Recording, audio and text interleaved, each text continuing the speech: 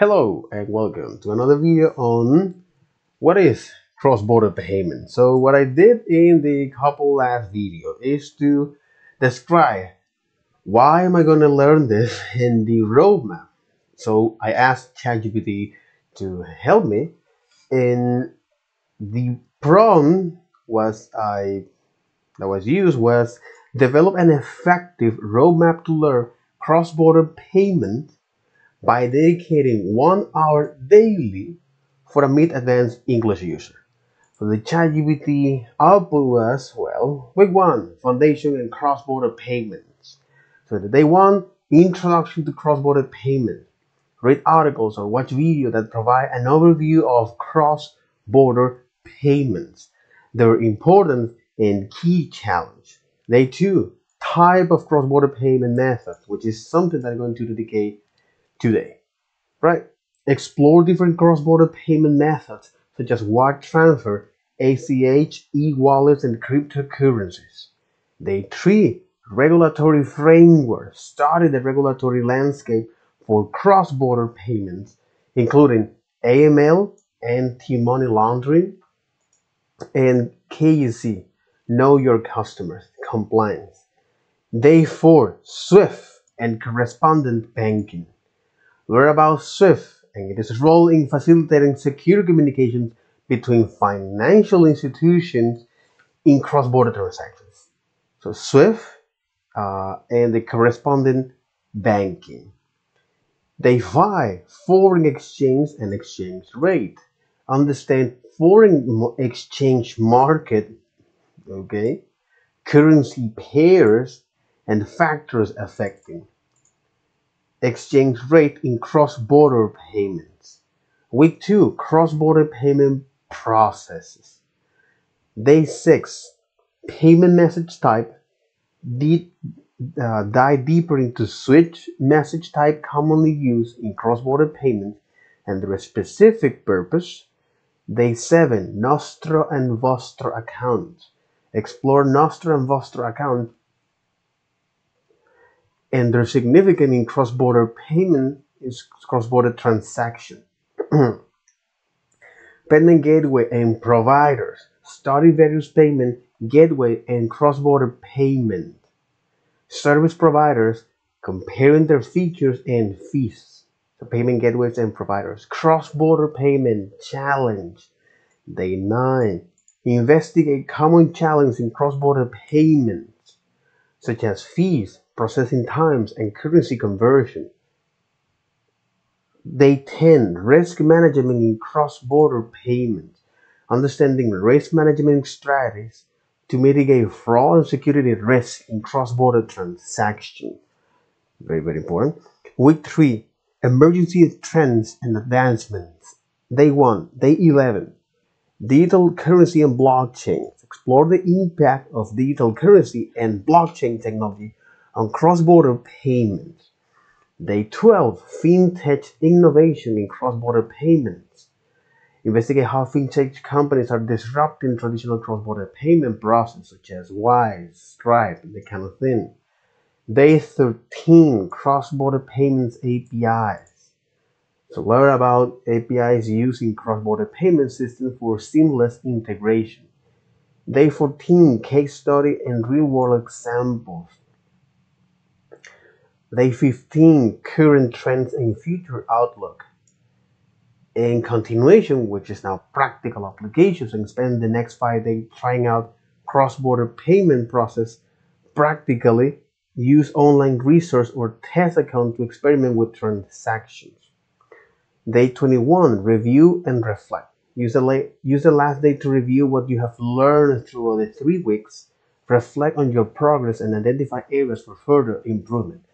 It is funny because it mentioned only 20 days to learn about a specific topic as a mid English user. Okay, so in the day one here, uh, the intro to cross-border payment. So from Stripe cross-border payment 101 and Wise cross-border payment, which is the tool source here. Okay, this is the tool source. So Stripe uh, mentioned that sending money across borders can be complex, challenging, a challenging process with regulatory requirements by each uh, state, by each uh, government, fees and risk to navigate. Okay, this is just to identify as this common challenge uh, of here. So it can be complex because if you don't know what it is, it can be complex. Challenging, it can be a challenging process to receive or send payments across border. It can be complex, challenging process. It's a challenging process with regulatory requirement. Again, specifically to governments, fees and risk to navigate. So the reason of learning about this uh, is because it allowed me to open to new markets, reach new customers, and diversify my revenue stream. This is the fucking reason I am doing this. You know, it's because I want to escape to this local change and I want to open up my opportunities. So I want to expose myself to that. Okay, so with the right payment method and strategy, two key words. So with the right payment methods and strategies, business can reduce costs, improve cash flow, and accelerate growth. Without the accelerate growth. Okay, so here we're going to explore the various type of cross-border payment available, the type of cross-border payments available, the benefit and downside or the trade-off of cross-border payment for business, and the process of receiving and sending cross-border payments. This is from the Stripe. Uh, and when it comes down to WISE, so when they describe that, okay, uh, cross-border payment, after all, refers to receipt. So is the movement of funds between national borders. So it can be either uh, consumers or business. So cross-border transaction doesn't involve the customer or merchant's location, something very, very important. So it doesn't involve the customer or merchant's location, but where the business is registered and the card used to pay is issue. Okay, it, it is relevant to the business location in which country issue your car. That's one of the thing here. This is one of the uh, uh, uh, you may want you may think is uh, this is for individuals okay or for consumers and even for business that's what matters in the cross-border transaction is where the business is registered okay is where the business is registered and the card used to pay is issue. Okay, who emitted that car? The who emit that car you are using to pay? Okay, so this is the the definition of the, the uh, cross-border payments. Okay, so the cross-border payments uh, is the movement of funds between borders uh, it can be either a consumer's or a business, and there's some challenge involved because it can be complex if you don't know how to do that. It can be complex. It can be a challenging process. You also have to deal with some regulatories and requirements with fees and risk to navigate. So my reason to go and learn this is because I want I want to expand as a business mm, to new markets, new customers, and diversify my revenue stream. That's the whole idea here. So with the right payment methods and strategies, business can reduce costs to improve. Exactly. So with the right payment methods and strategies, business can reduce costs, improve cash flow, and accelerate growth. So keep looking at here in the stripe, okay? The type in day two, if you remember here, the, the day two here is this. Mm -hmm. so day two, type of cross-border payment methods like this uh, is this.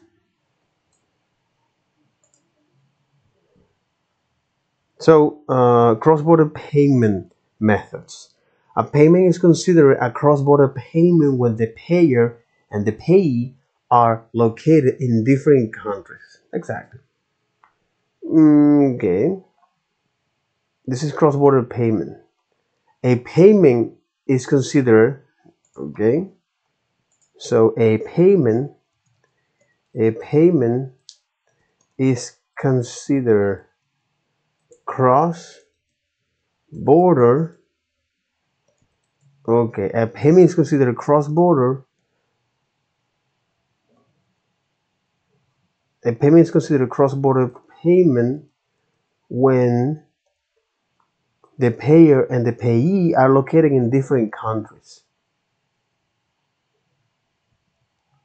regardless of the mechanism on which the payment occurred.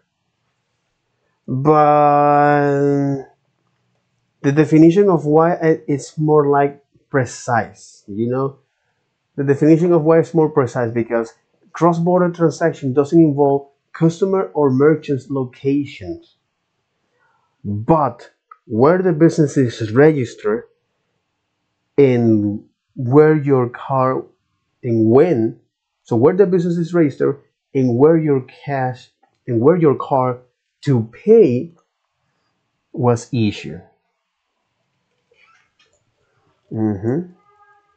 Where the car to pay was emitted. Mm-hmm. Where the car to pay was emitted. This is a more precise definition of this. So for any given transaction, the ideal choice of payment method depends on various factors, such as the amount of money being transferred, the speed of the transaction, the currency involved, and the fees associated with each method. Business and individuals who need to initiate a cross-border payment should consider the different methods of cross-border payment available and choose the most suitable method for the specific needs. There are several common methods of cross-border payment, including wire transfer, or in Spanish, eh, eh, transferencias de cable, cableadas. A wire transfer is an electronic transfer of funds between two different banks or financial institutions. And when you talk about financial institution, it can be either uh, venture capitalists, private equity, okay? In different part of the world, wire transfer are transmitted using various wire networks that service different geographic areas. This type of payment is commonly used for large transactions. Among limits vary based on locations and network and can be sent in different currency.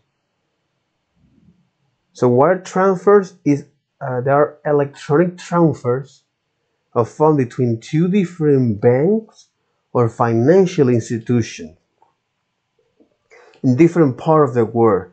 Wire transfers are transmitted using various wire networks that service different geographic areas. This type of payment is commonly used large what are what what type of wire network? You know it's like what are uh, wire networks?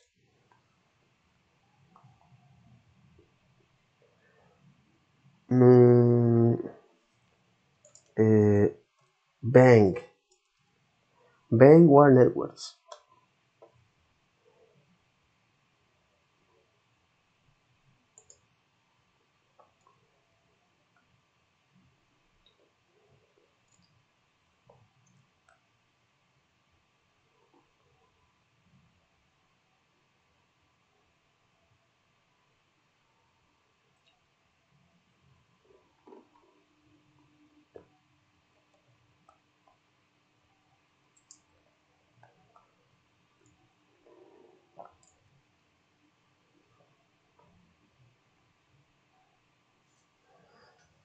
No it's like types of wire networks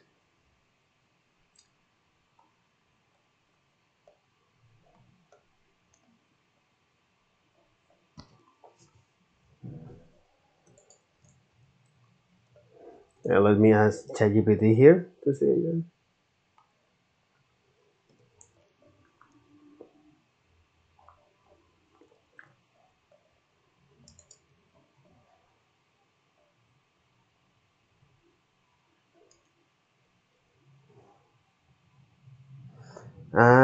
Okay, wire networks, whether it's Ethernet, coaxial cable network, token ring, fiber optic network, power line communication, PLC, telephone network, serial communication, universal serial, RS, 20 through, and HDM, and HDMA.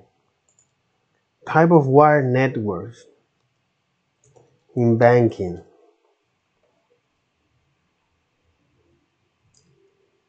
Mhm.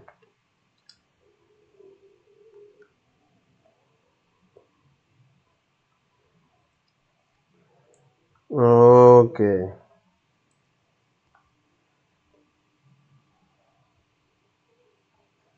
Mhm. So, through various wire networks.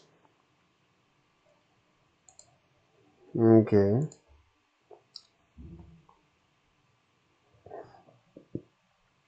Mm-hmm. What transfer ACH, e-wallet, and cryptocurrency?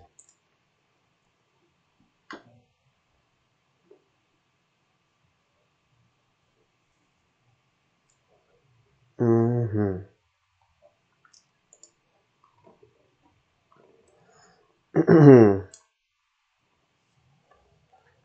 okay, so this is the different types types of wire networks in banking. Okay. So in day two here,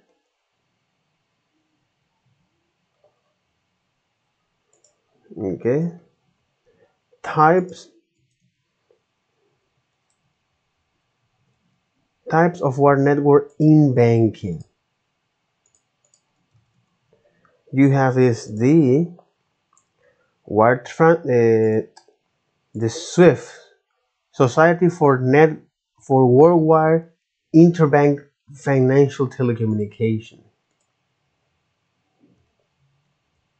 So SWIFT is one of them.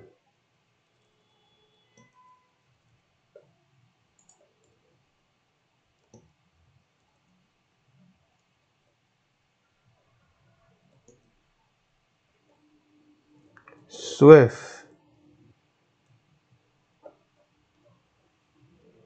is a global messaging network used by banks and financial institutions to securely and accurately send and receive financial information, including payment instruction, account statement, and other transaction-related messages. Switch, SWIFT codes are used to identify banks and their branch in this network. A- AC, ACH or Automatic Clearing House.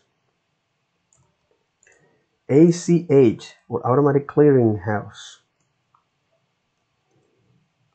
Where not SWIFT stands for Society for Worldwide Interbank Financial Telecommunications.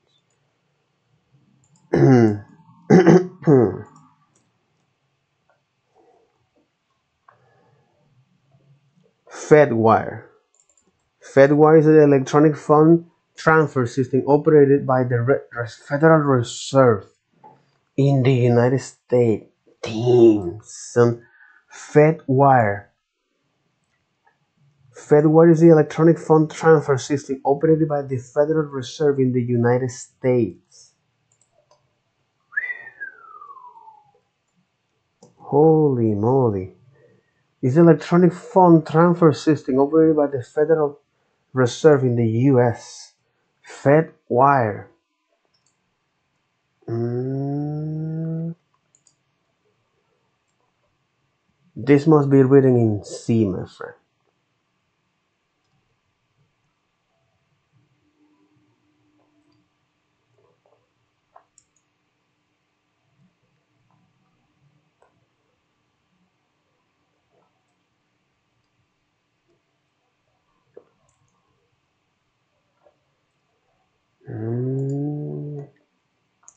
The Federal Reserve.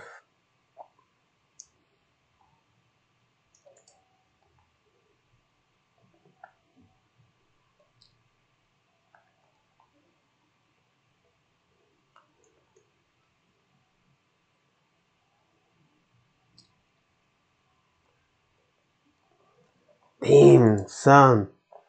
CHAPS. Clearinghouse Automated Payment System. It's the same day. Clearinghouse Automated Payment System.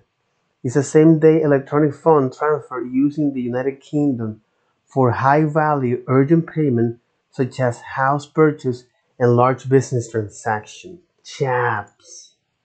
Holy moly. CHAPS. SEPA or SEPA. Uh, single euro payment area is an initiative in the European Union that aims to create a single integrated market for euro denominated payment. It allows for easy and effective cross border euro transfer between accounts in SEPA participating countries. But it's a single euro payment area for that. SEPA or SEPA in Spanish.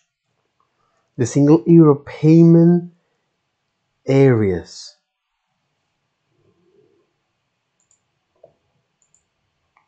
VisaNet.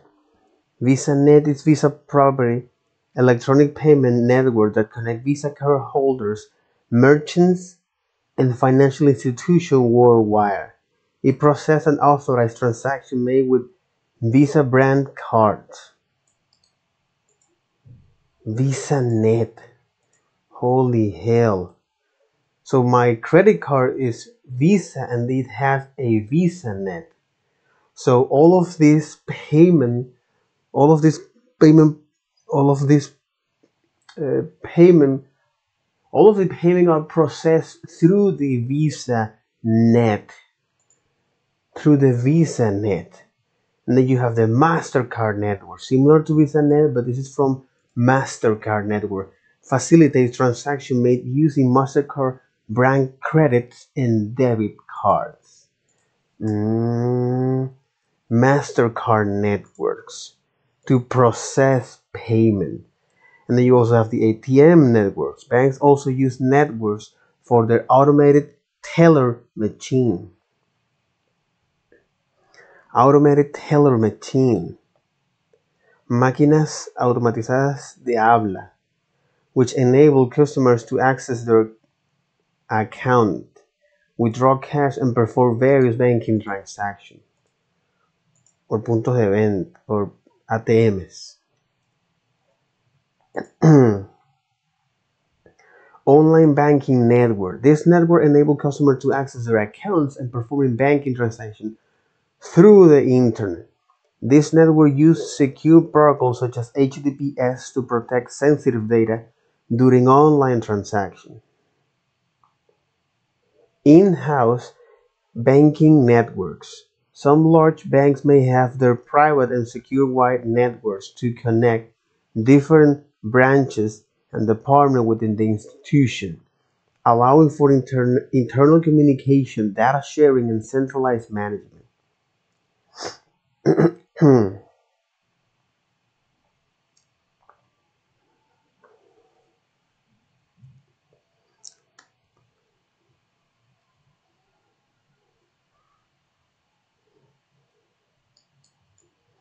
Mm, online banking networks online banking networks as well as the in-house banking networks in house banking networks. Some larger banks may have private and secure wide network to connect different branches and departments with the institution, allowing for internal communication, data sharing, and centralized management. Holy hell, man! We're definitely we're definitely just just pawn. It's like we're just definitely peasants. You know what I mean? It's like holy shit. Holy moly. Jesus. Okay. So here I'm exploring is wire transfers. Okay, which is the first. And here I'm exploring is cross-border payment. Type of wire networks. This is one of them. And then types of cross-border payment. Okay type of wire networks, in-bank, and type of cross-border payment. So here you have is the is so here you have the wire transfers. Okay, it's an electronic transfer between two different bank or financial institution. Wire transfers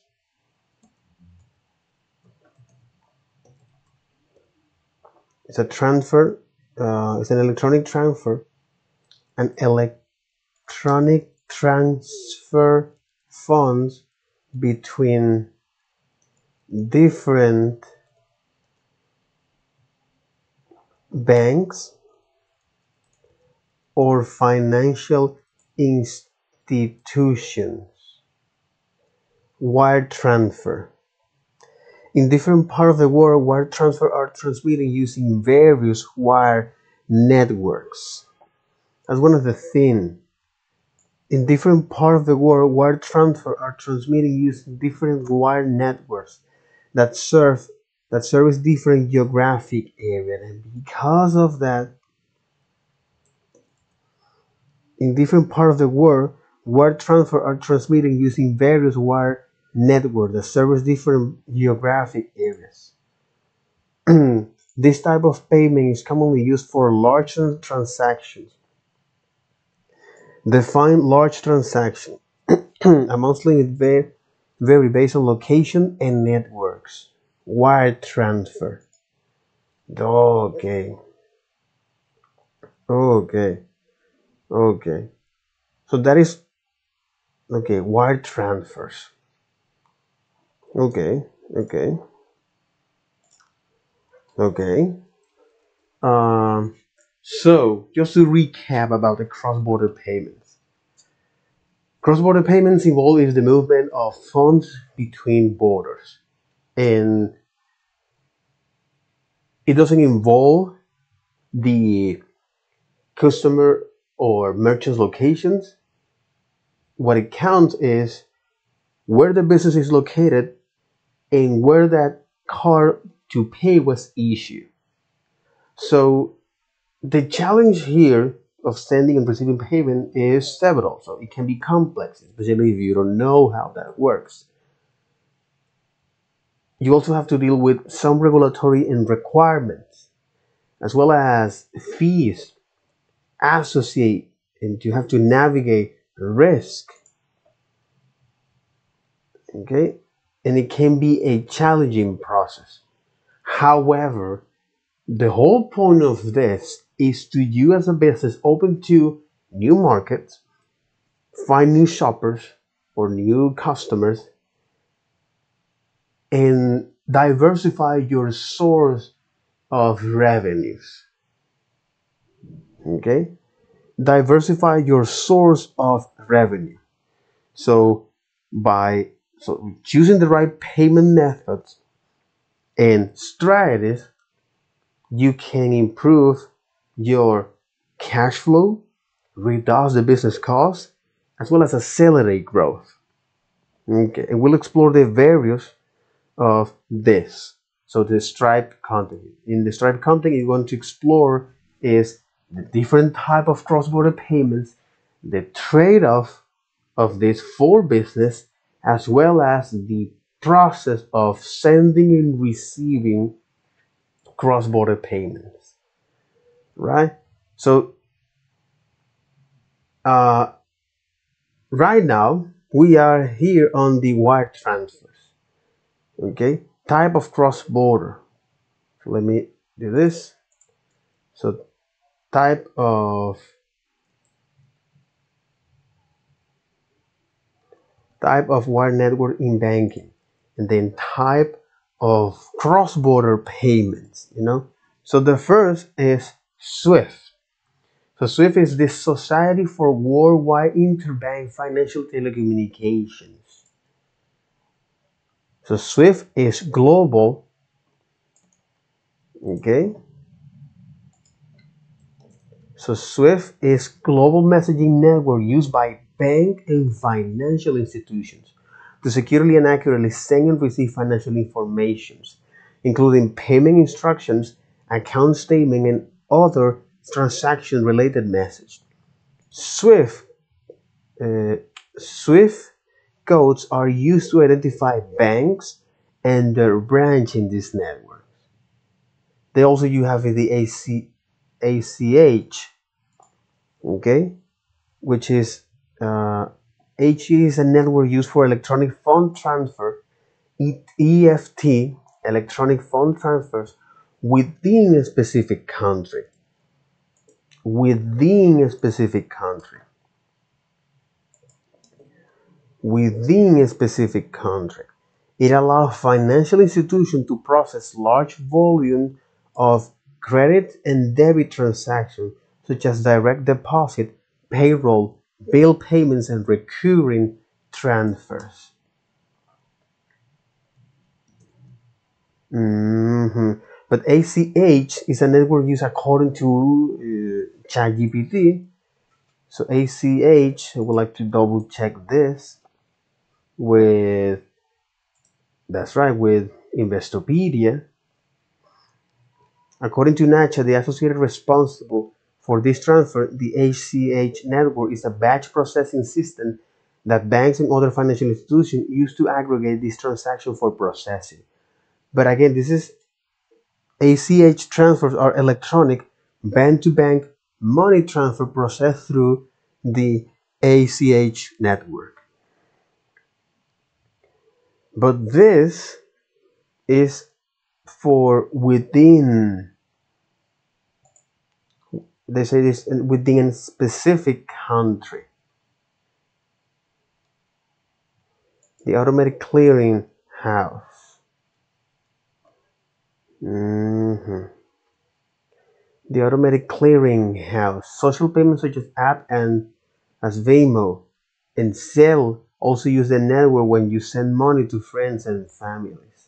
in an ACH direct payment transaction, the person sending the money sees an ACH debit appear in their bank account.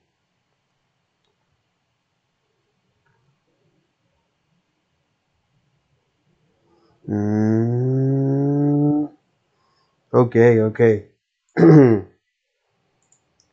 okay, okay. So type of network in banking. Okay. So type of network in banking, you got SWIFT, ACH, FedWires, CHAPS, which is on the UK, SEPA from Euro, VisaNet from Visa, MasterCards, ATM networks, and online banking networks, and in-house banking networks. Okay, so that'll be all for this video. Take care. Bye-bye.